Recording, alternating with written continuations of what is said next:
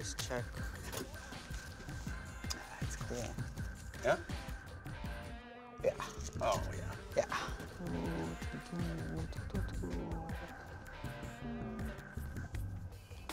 Nice. Not bad, huh?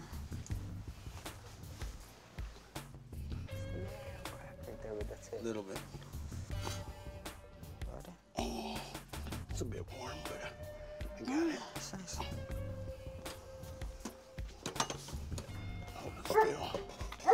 Thank you.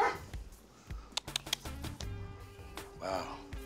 Good smiley. Yeah. I must ask you to. Uh, I love this sweet The, the, bread. the pan dulce? yes, yeah, yeah, yeah, yeah. and that's probably one of my favorite ones too. yeah, yeah, yeah. well, they come in two different versions, right? Uh, Right. Just the bread alone, and then with sugar on top Yeah, too. yeah. Oh.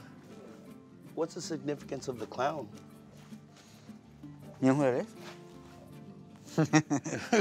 Who's that? When I was little, um, for my birthday when I was a kid, they used to, they always used to paint me as a clown, you know? Uh huh.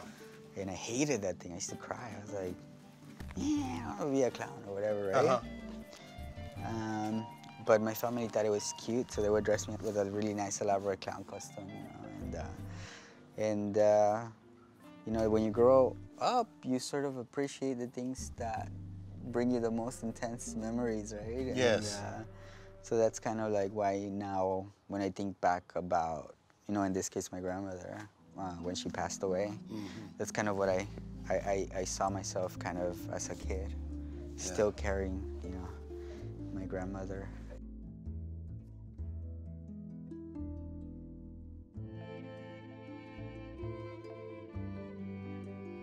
When I started making this piece, I was thinking about death and the rituals of death and our belief systems behind death.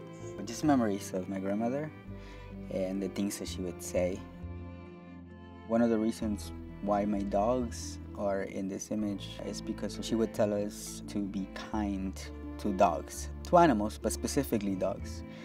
Because when you die, a dog is your guide to the other side, to the afterlife.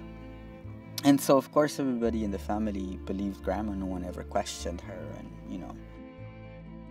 It turned out that that's an ancient pre-Columbian belief. If you think about the Colima dogs and their significance. And so I drew a bunch of images that relate to death.